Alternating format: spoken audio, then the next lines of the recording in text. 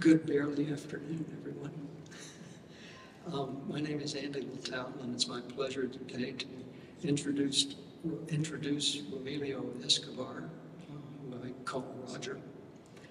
Um, Roger received his PhD from uh, the University, National Autonomous University of Mexico, uh, working with Carlos Bruner in 2007, after which he spent two years on a postdoc with me, um, teaching me all kinds of things, and hopefully he learned something along the way.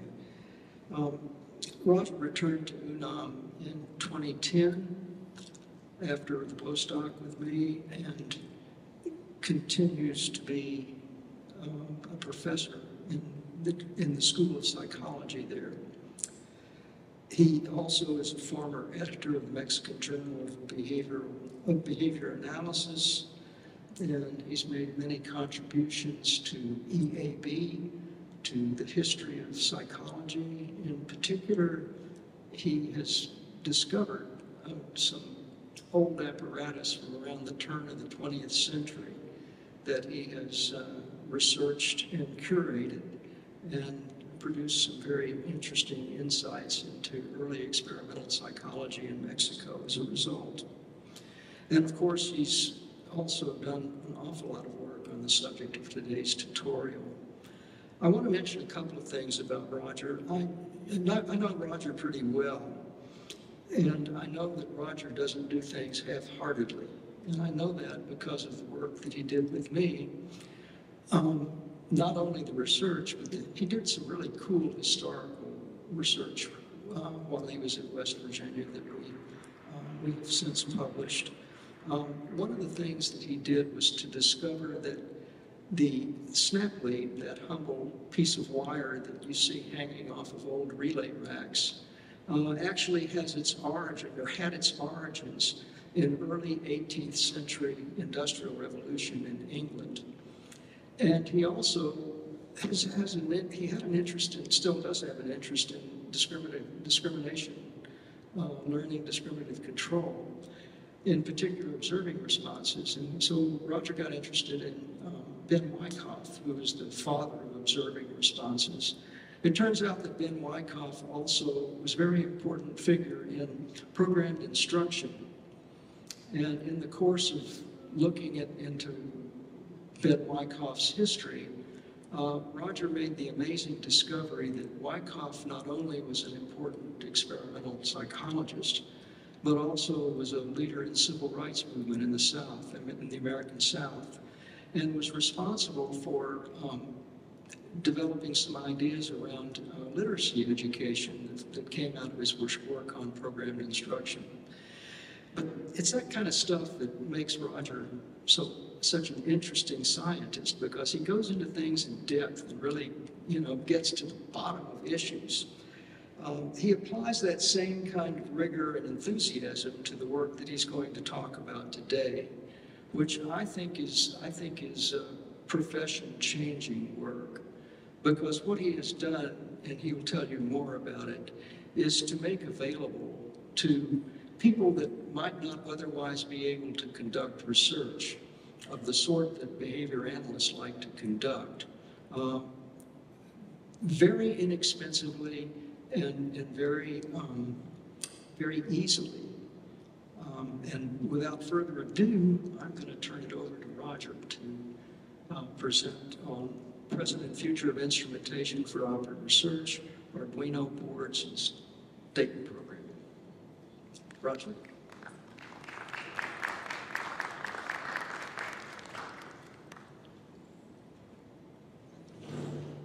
Very much, Andy, for that nice introduction. Uh, thank you also for the invitation. I really appreciate the opportunity to talk about my work on instrumentation. And uh, this is the equipment that is commonly found in operant conditioning laboratories. As an undergraduate student in psychology at UNAM in Mexico, I was marveled uh, when I first saw these chambers uh, it was at this point that I knew that I found a place in which science, I mean, natural, basic, rigorous science was done. And Uh, no one doubts that scientific instruments are fundamental for the advancement of science. Operant conditioning chambers enable us uh, to measure a small sample of behavior within a time frame and most importantly, help us to determine accurately how behavior is affected by carefully controlled uh, antecedent events and consequences. In this video, a rat presses a metal lever and contingent to the lever press, a food pellet is delivered in a small tray. A green circle signals the activation of the pellet dispenser. Uh, operant laboratory, laboratory equipment has two main components.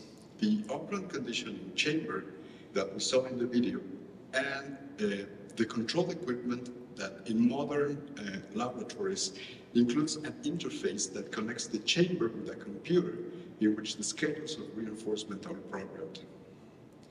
This is a diagram that separates the component uh, of the operant lab equipment. The control equipment communicates uh, uh, bidirectionally with the operant chamber and detects inputs, for example, uh, lever presses. It also produces outputs that result in stimuli events in the chamber, for example, uh, turning on lights, uh, tones, or the feeder. Most operant uh, labs run thanks to the uh, use of commercial equipment sold by a few companies. The equipment that now gets exported to number, uh, numerous countries has become a standard for good reasons. It is uh, reliable, it is durable, it is precise. Uh, for, uh, for example, the standard Med Associates equipment has a 10 millisecond resolution. And with the addition of Med notation, it is really easy to program. Now, there are, of course, several cons to the use of commercial equipment. The, probably the most evident is the high cost of the, uh, of the equipment, uh, which is particularly an issue for uh, young researchers, for small universities, or universities in developing countries. Uh, it's also bulky, so it's difficult to, to export. Uh, outside of the US it's becoming increasingly difficult to get and repair the equipment when needed. It is difficult to alter the, set, the setup of the chamber, and it is too expensive to be used for classroom demonstration. Now, if we analyze the equipment that we use for operant research, uh, we'll realize quickly that it's relatively simple. In the most extreme cases, we need to record uh, responses that could occur up to 30 times per second. And that is the case of in pigeons in DRH schedules. We also require a system to deliver immediately consistent stimuli that, that serve as reinforcer, uh, as reinforcers like uh, 45 milligram food pellets or drops of water. And we also need to present visual and auditory signals that could be used as discriminative stimuli, among other functions. So given these characteristics, I thought that it would be easy to create my own equipment to conduct operant research in Mexico. Making my own equipment, I thought, could help me to conduct research immediately uh, instead of going through the hassle of uh, requesting the funds, waiting for the funds to arrive, buying the equipment, wait for the equipment, I have to say that I was wrong about this being easy or fast, but I was right about the rest.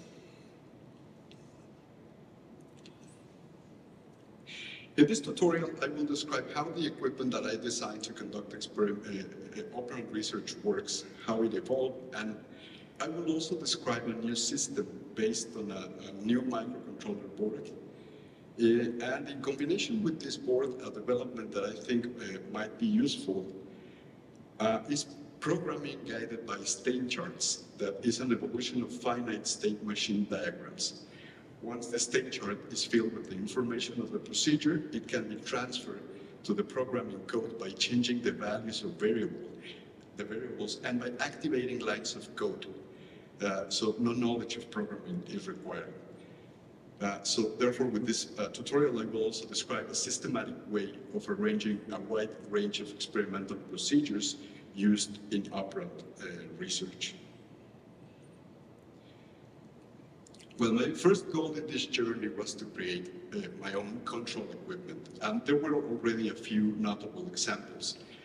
Uh, this is the amazing but now dated uh, Palya board that is shown in this picture. And I also found an interesting paper by Dr. Iversen in which he used the parallel port of a computer to control a camera when a response was detected. I later used this idea uh, to create my own interface to control an operant condition in chamber, but this system is also dated now. Early during my attempts uh, to build my own equipment, I found a global community uh, of makers online that created these ingenious gadgets, wrote their, their, programs, and they were willing to share this information with everyone. So this is what we know as an open source policy. So it was at this point that I, I, knew that if, if I succeeded in, created my, in creating my own equipment, I could share the ideas with others. The project started uh, formally in, in, 2013 with an international development grant. Uh, this is an early, not so great example of an operant condition chamber that we use for classroom demonstration. And my control equipment is based on the popular Arduino boards. Uh, on the screen is the most popular model, the Arduino Uno. This inexpensive and easy to find uh, board works as a miniature computer that executes one program at a time and reads the status of inputs and outputs. It has 14 uh, digital pins that can be used to detect whether a switch is on or off, or uh, can turn on devices or can turn on or off devices.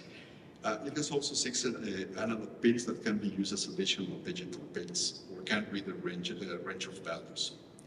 As a standalone interface, it has a one millisecond uh, resolution. Now, I will show you briefly how to use it. Uh, this is the Arduino board out of the box. For me, it helps to see that there are no tricks involved. Uh, this is how it works. Uh, the board uh, has a USB connector and pins labeled on the side, as you can see here. These wires that are known as jumper wires uh, can be connected uh, to the board or can be to, connected together to make longer wires.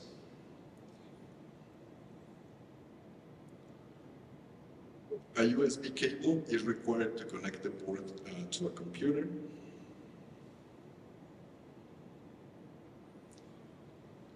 And to work uh, with Arduino, the Arduino IDE software must be installed. Uh, so here I am installing the software downloaded from the website arduino.cc. The software is free to download and use. Uh, I'm going to accelerate the installation process and I'm going to go to the end. When installation process uh, ends, uh, you will be able to see this screen. In this screen, a program can be written and then uploaded to the Arduino board. When it is uploaded, the program is executed repeatedly whenever the board is powered on via USB or with an additional, uh, an additional power supply. Okay, so I'm going to show you briefly how it works uh, for operant research. Uh, let me start with inputs. Uh, responses can be detected using microswitches. This is a, a, precision microswitch that is used in commercial equipment. It can be found easily in electronic stores online. And this is how the microswitch is connected.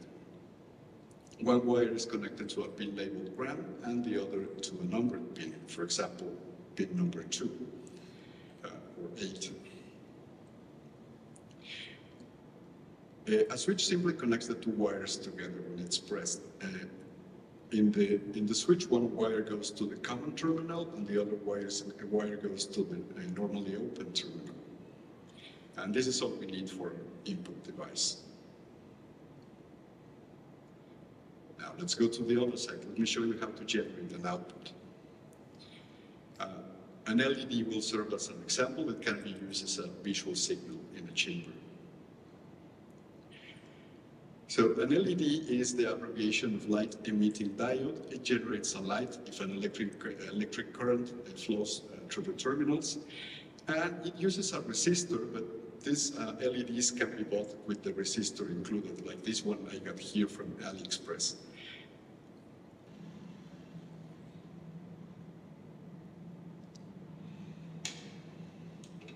Okay, one pin of the LED goes to a numbered pin. In this case, I'm going to use number two. And the other goes to ground. This LED has colored wires to simplify the connection. Now, this is the Arduino IDE window that I previously installed. And this is how it is programmed. First, we need to declare two variables that correspond to the number of pins in the board. The switch is number 8 and the LED number 2. Then we need to state that the LED in pin 2 is an output device and the lever in pin 8 is an input device. Now, in this section uh, labeled loop, we write the program that will be executed repeatedly. In this example, we state that if the lever changes from high to low, the LED will be activated. The LED remains, remains on for 1000 milliseconds, that's a delay, and it is turned off afterwards. The program is uploaded to the board by clicking this arrow, and it's ready to go. So here is the Arduino board working with the example. Uh, I power it with the computer, and if I press the switch, the LED will turn on for one second, or 1000 milliseconds. Very, very easy. These basic applications, just to show you the logic behind the equipment uh, that I designed. Initially, I planned to use the Arduino interface as a, uh, the Arduino as an interface, a standalone interface, but memory limitations of the board made it impossible. So I solved uh, the problems by using the Arduino as an interface working in combination with a computer. So the Arduino board generates outputs and reads the states of inputs and schedules of reinforcement are written and executed in Visual Basic running in a PC. And this was the setup for testing. An Arduino worked as a standalone board that generated simulated responses with a duration of starting at one millisecond and an inter-response time, IRT, of one millisecond. These simulated responses activated a, a solid-state relay and were recorded with an Arduino connected to a PC running the experimental procedure in Visual Basic. Then I changed the simulated response duration and IRT to determine the point in which all responses were recorded. I decided to produce the simulated responses with a second Arduino board because these boards are incredibly uh, precise. This is an oscilloscopic reading of the continuous signal produced by the Arduino board, turning on and off an output of 4 milliseconds with a 4 millisecond interval. Each dotted rectangle in the grid that you can barely see is 5 volts height and 2 milliseconds wide. So the yellow line is the reading and it's, it's practically identical to the expected value. With these tests, we found that uh, with concurrent schedules, 100% of the simulated responses were recorded if a minimum duration of 12 milliseconds and 12 milliseconds IRT were produced. Visual Basic, however, limits the resolution of the system to 15 milliseconds, this is not that bad considering that uh, the old relay equipment uh, functioned in this way. Whenever a response was detected, a relay was activated for 15 to 30 milliseconds to produce a stable pulse, and that was the duration of the response. So it's actually similar to that. So these tests, uh, well, we also test the outputs that were produced after 21.3 milliseconds, but there are no comparisons, comparison points with this result. So with these results, we proved that the Arduino Visual Basic interface reached the requirements of, the, uh, of most experiments, experiments on operant research. And we published this paper in, in 2015, and it became the basis of what we did afterwards, like in this couple of papers. Now, I have to say that all the programs are open source and can be downloaded, downloaded free, uh, freely. Uh, all the links are included in the paper, and they can also be found in my website. And one important consideration is that the performance can be affected by the load in the PC. So the computer running the visual, the Arduino Visual Basic interface cannot be used for the tasks while, it's running uh, the schedules. There were, there were also some issues that complicated the, the construction at the time. One uh, was that uh, we needed to add uh, an integrated circuit to control uh, a system of relays uh, for the operant conditioning chamber.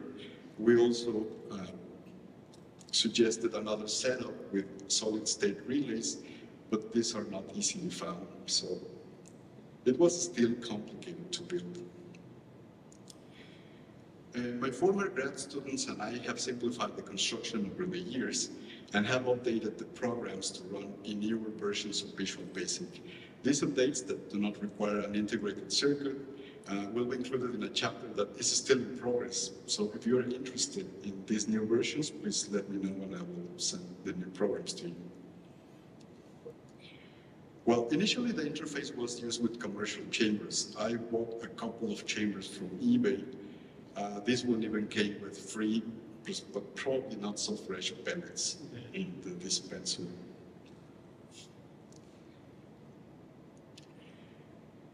This is an early example in the classroom in which the operant chamber looks not so bad at the distance, but it wasn't great up close.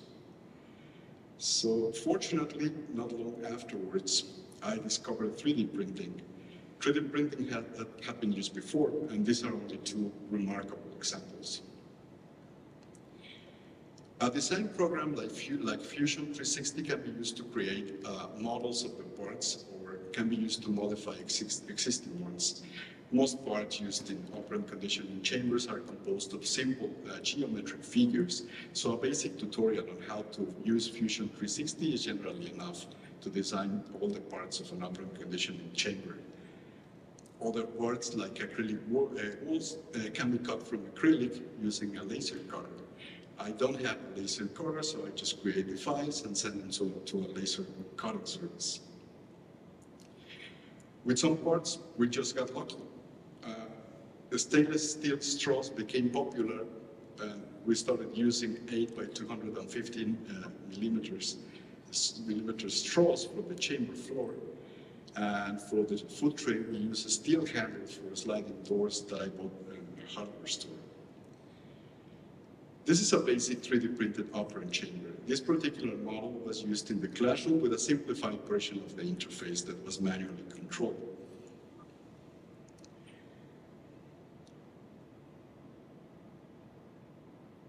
This equipment uh, even re uh, received some attention from the maker community, makers community.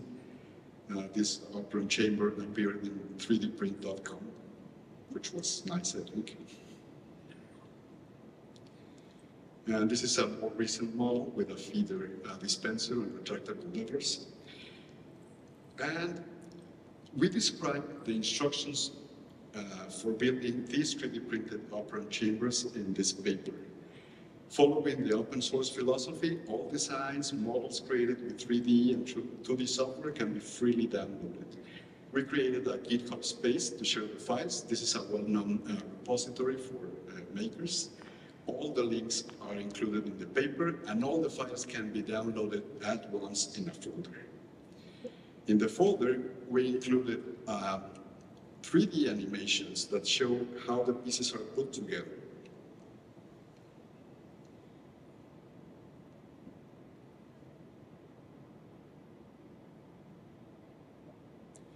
And we also included images of the components that we use so that they can be identified easily. We found that it's, it helps a lot if we have an image of the part that we need to buy to compare it with the image online. We also replaced uh, some parts that were previously difficult to assemble, like the relay system.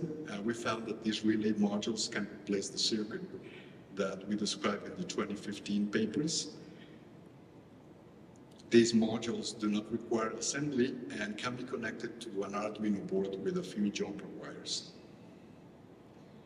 In this picture, a water pump that we use to deliver water reinforcement is connected to a relay and controlled with an Arduino board. In the 2022 paper, we also included tests of this water pump.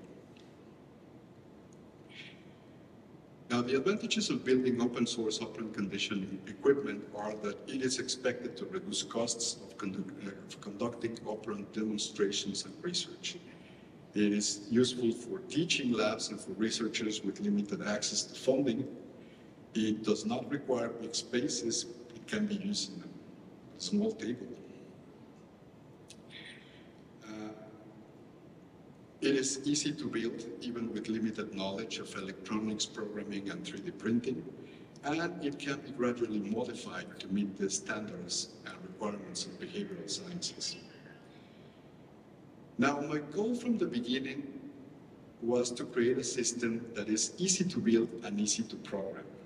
So following this goal, I designed a new system. I knew that I had to get rid of Visual Basic for several reasons. Probably the most important is to have a system that does not depend on a computer. If the program is run exclusively on the microcontroller board, the system would be faster and more stable. But this, of course, required a different board, and I got lucky again. This is the recently released Arduino Uno R4 Minima board. It has a similar design to the previous Arduino board, but it has some important advantages. It has 256 kilobytes of memory to write programs, and it has a faster processor. It doesn't look like much, but I will show you what you can do with this board. The electronic, I'm going to divide the electronics control system in two parts just for simplicity. This is the, the part of the control section.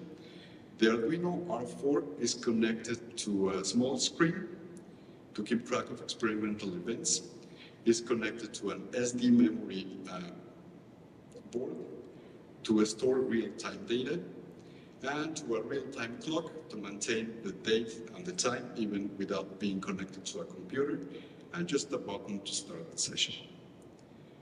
This is the second part. This is the part that interfaces with the operant chamber. And here we have a 40-pin terminal uh, block connector that can be connected, in this case, to a relay uh, module. And uh, I have two micro switches. To work with 3D uh, printed chambers, um, I included also the, the 12 volt power supply, voltage converter, LED, and a stepper motor controller.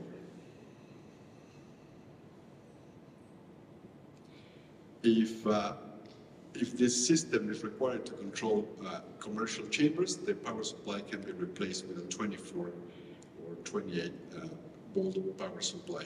A 20 volt, 24 volt power supply can be also used to power the Arduino board. This is the list of the components of this new system.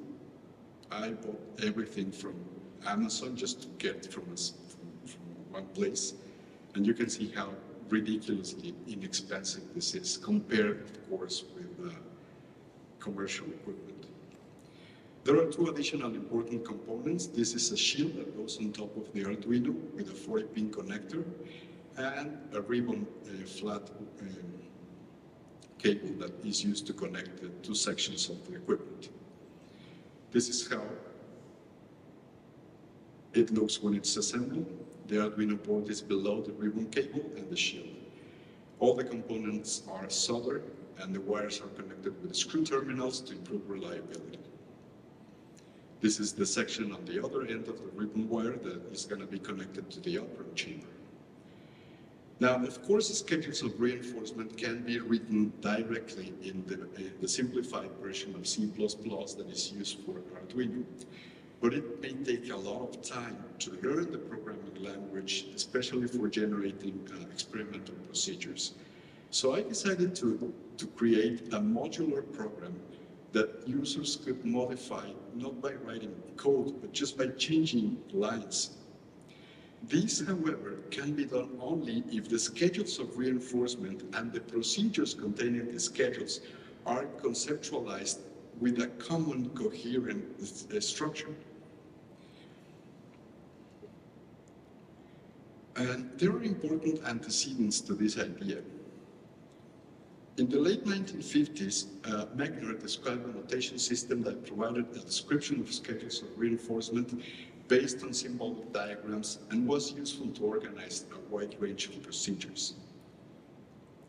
In this example, response A produces uh, stimulus S. If a response occurs in the presence of a stimulus S, uh, reinforcement is delivered. This is, of course, the description of a chain schedule. According to Mechner, by presenting a set of intricate interrelationships in a concise and schematic form, a diagrammatic or symbolic notation can often lay bare the essential structural, structural features of these interrelations, thereby facilitating their analysis. He goes on saying, a good notation system could implement the discovery of formal parallels between behavioral procedures and generally suggest schemes for their classification.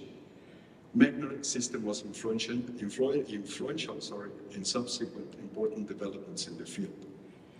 A few years later, Snapper and colleagues used finite state machine FSM diagrams to expand Mechner's notation and make it congruent with procedures involving sequential processes.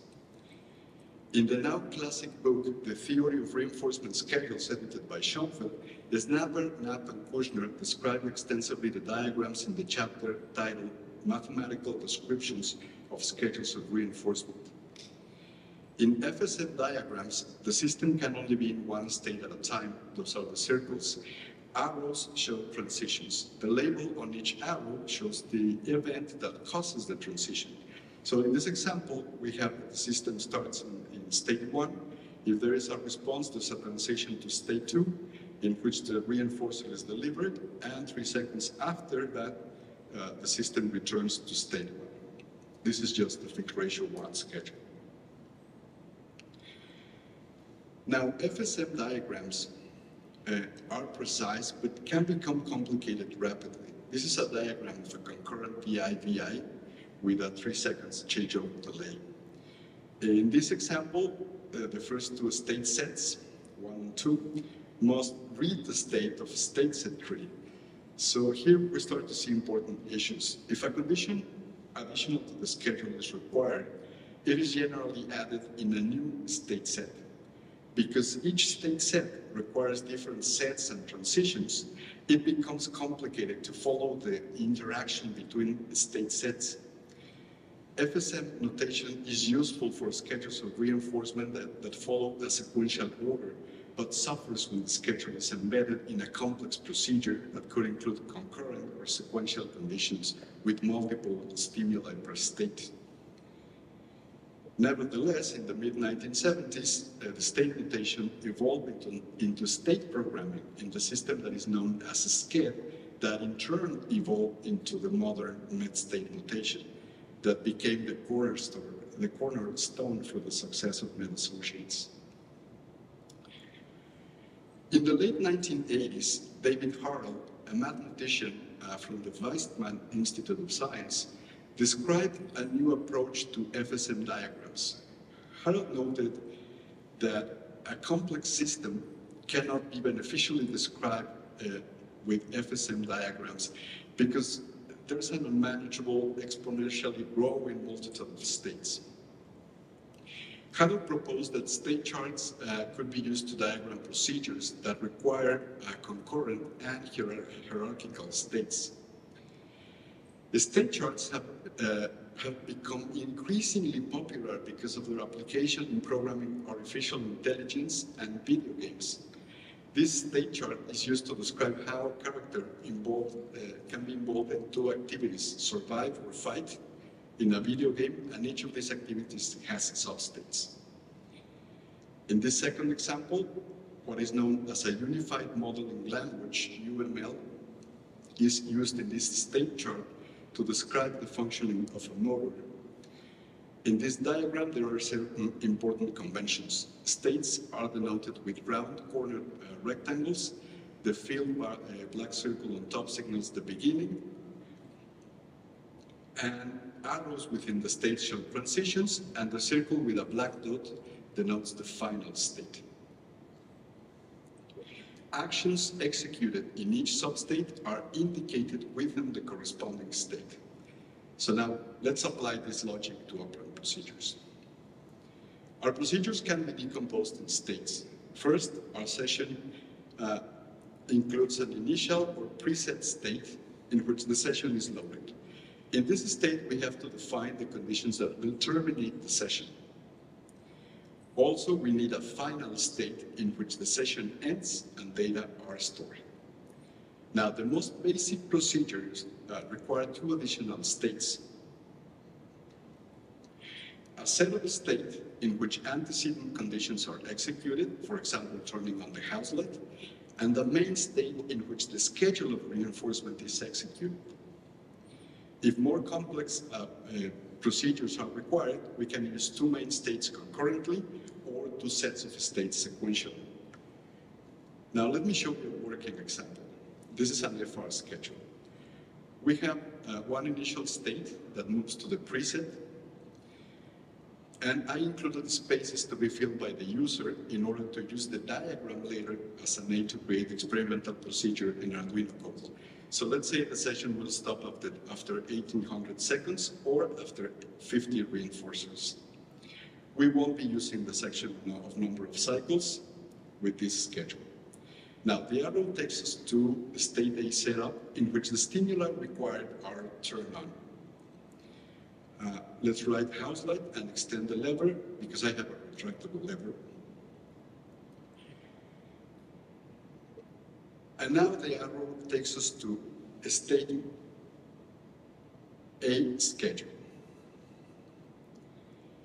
Here we have a subset, A1, in which the user writes the schedule and the values required. For example, fixed ratio, 10, and we indicate that we only need one response by crossing out response 2. The consequence for fulfilling the criteria is full reinforcement. And this schedule uh, does not terminate by time. That is useful only for multiple and mixed schedules, so I'm just going to cross this out. I create a loop that in this case will never uh, produce a transition, so it will run forever if I don't do anything about it. But I, I, will leave it like this for now.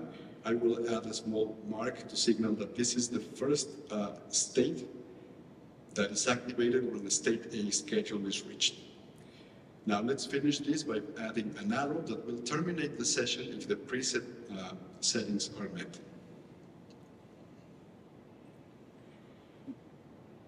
Now, if you're wondering why do we need this, uh, this is the Arduino IDE, and I open uh, the Arduino program that I created, that is called Arduino Operant Lab. I will make this program available, of course, for free in my GitHub space. This code is organized in tabs. The user selects the tab session values and writes the values entered in the preset then selects the experimental procedure tab and searches for the section state A setup. Activate the house light, leave extend left activated, and go to section state A schedule and select the schedule FR for A1. The values of the FR uh, can be modified in this tab. Go back, select full reinforcement, and we're done. Verify the code, upload it to the board, and we're ready to go. Now, pressing the button on the board starts the session. So here, uh, the session begins with the introduction of the retractable lever and the house.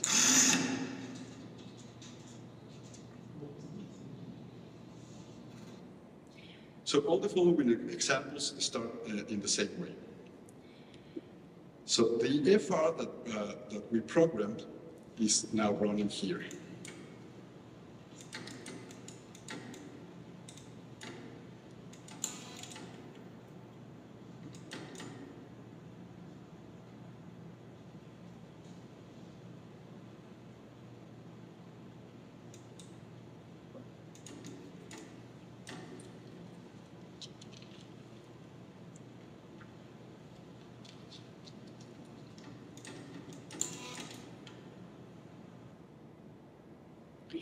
Okay, so that, that was the FR10 that we programmed.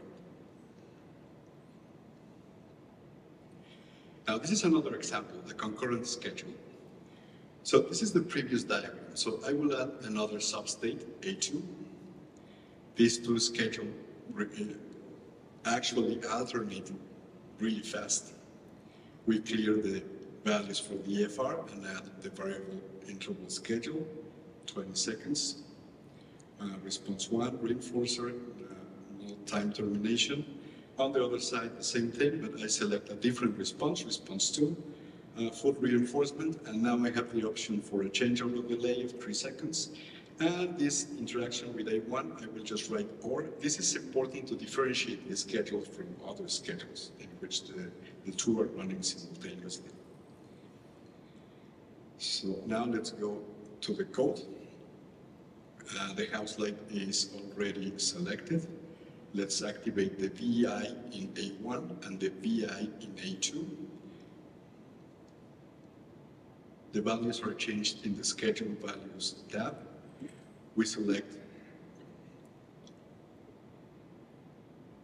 we select reinforcer 2 for schedule 2 and we also need to specify response 1 for schedule A1 and response 2 for schedule 8. Changeover uh, is set to true, so we're ready to go. So this is the concurrent VI20, VI20.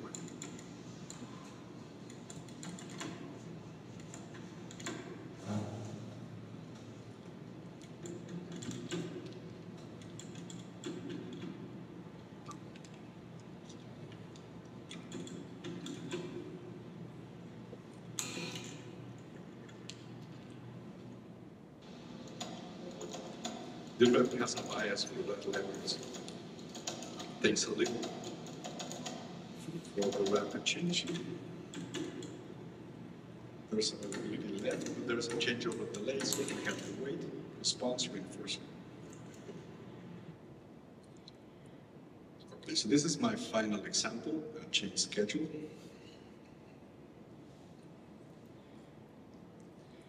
Uh, this is the first uh, diagram with the fixed ratio 10.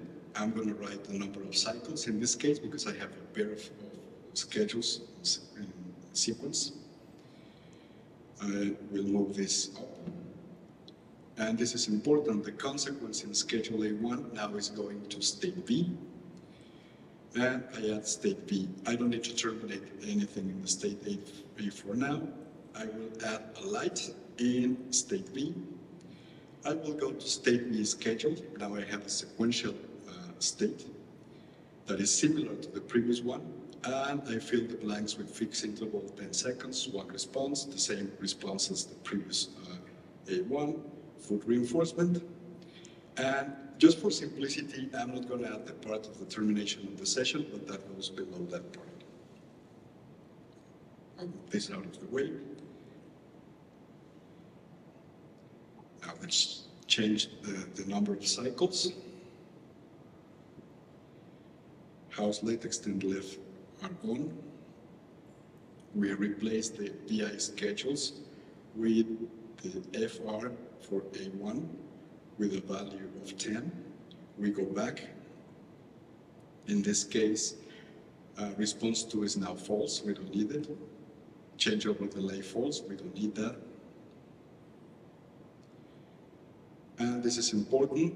Uh, do not reinforce, go to the next state. So I need to remove the reinforcers from this uh, link. Now we go to state uh, B setup. I'm going to turn on a light to make it a chain schedule and go to state B schedule. Now, uh, I have to activate the schedule for B1, the sequential one, the fixed interval, 10 seconds. Go back, uh, response B1 true. Deliver reinforcement in this case. And at the end of state B, turn off stimulus. Upload the code, and there we go. This is the first on-signal link.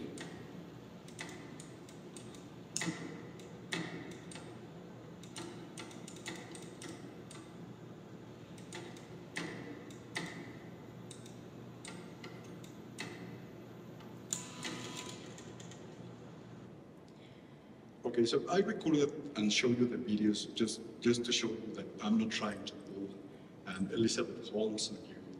This actually works. I'm sorry, that's a tech joke.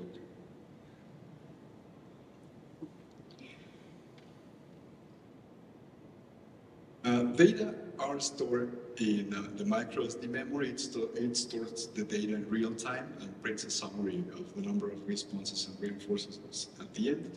The file name is changed in every session to avoid overwriting.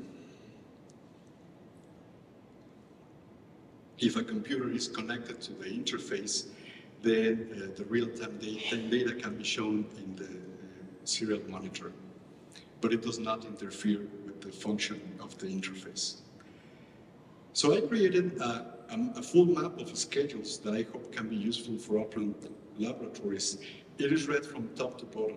Uh, this map includes two substates uh, with schedules running simultaneously and two high-level states in sequence. If more states are needed, they can be added following the same logic.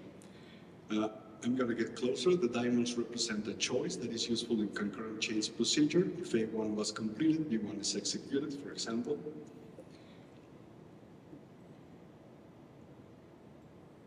And this part is from sequential schedules.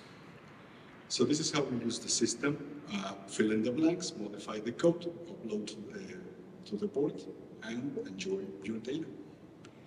So now I have a disclaimer. There are many different ways uh, to arrange uh, schedules in state charts, and probably you can think of better ways to do this.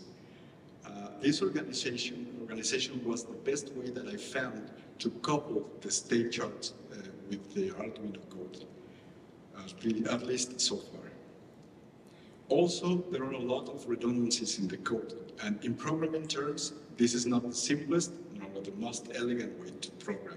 However, I wanted to create functions that resembled modules such that it is easy to add new states, each with an independent function containing a schedule. So there are a lot of, similar functions. The included features so far are basic schedules, uh, FR, well, the ones that I have on the screen. Uh, the modular programming allows uh, tandem, chain, multiple, and all these sort of schedules. There is a changeover delay and the concurrent chain procedures. Uh, I conducted uh, the same tests with this uh, interface. It has one millisecond resolution thanks to the Arduino board, uh, responses of 12 milliseconds uh, and 4 millisecond IRT perfectly recorded, so this is better than the Arduino Visual Basic. I hope to publish this in the instructions to build this soon and to upload the files to a GitHub repository.